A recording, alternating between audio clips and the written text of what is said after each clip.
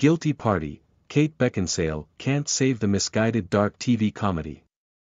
Guilty Party doesn't have anything new to say about pop culture's obsession with true crime stories or tabloid journalism's shameless exploitation. Beth Burgess Kate Beckinsale is a terrible journalist and the main character of Paramount Plus' S dark comedy television series Guilty Party.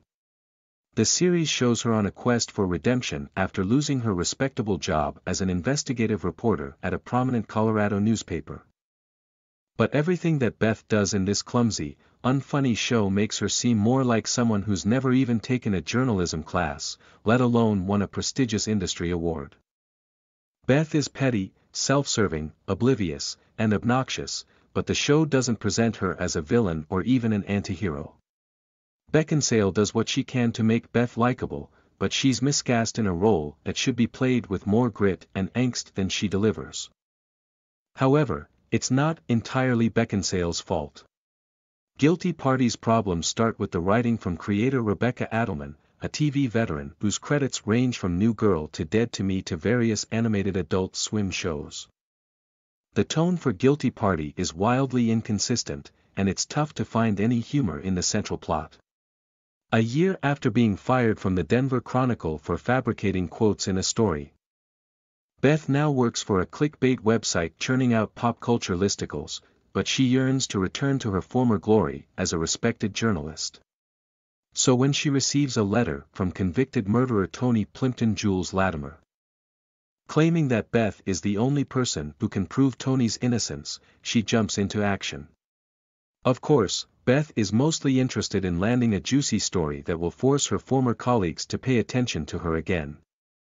Her co-workers are quick to point out the problematic nature of her efforts to use a black inmate as her conduit back to respectability. It reeks of white saviorism, says her disaffected millennial boss. Who is, of course, also white. But like most of Guilty Party's potential satirical targets, the racial politics are acknowledged and then glossed over, in a way that is neither funny nor insightful. Nothing about the website where Beth works is remotely convincing, and the show makes outdated jokes about Harry Potter personality quizzes and Taylor Swift rumor-mongering. Beth is presented as so unaware of pop culture that it's unclear what. If anything, she actually does in this job. The website is just a jumping-off point for Beth's investigation, and in the three episodes provided for review, she becomes increasingly enmeshed in Denver's criminal underworld. Although the characters question whether Tony is truly innocent, she's presented mostly as righteous and determined, a mother who just wants to clear her name and see her daughter again. But everyone else that Beth encounters in her efforts to find out what really happened on the night that Tony allegedly murdered her husband is a complete buffoon. There's never any real sense of danger. Even as Beth is being threatened and intimidated by men with guns. The criminals have names like Tuna and Tugboat, and their operations are comically inept. Beth is pretty inept. 2. Which makes her a good match for the people she's up against, but not a particularly appealing protagonist. She's meant to be sympathetic, but she engages in plenty of manipulative tactics to get Tony's story.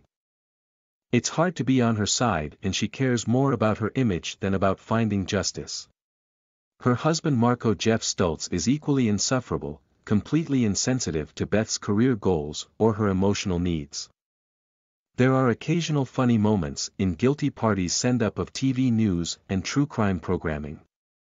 Beth tells Tony's idiot brother-in-law Wyatt Andre Hyland that she works for a true crime TV series called Crazy Bitches Who Kill, which is dishearteningly realistic sounding. Beth's chief rival is TV reporter Tessa Flores Alanna Ubach, who affects a generic-sounding Latinx accent whenever she pronounces a Spanish-derived word or her own name. Comedies like American Vandal and Only Murders in the Building have sharper takes on the true crime genre. Search Party has spent four seasons crafting a more incisive, darker, and a funnier portrait of privileged narcissists who mistakenly think they can solve a crime. Presumably by the end of the 10-episode season, Beth will discover who really killed Tony's husband. But there's no urgency to the mystery. Guilty Party doesn't work as either a comedy or a crime thriller. It's a misguided attempt to mine laughs from racial injustice, starring a deeply unpleasant protagonist who gets a pass from both her peers and the show because she's a pretty white woman. That's not funny, it's just depressing. The first two episodes of Guilty Party premiere Thursday, October 14 on Paramount Plus, with subsequent episodes debuting each Thursday.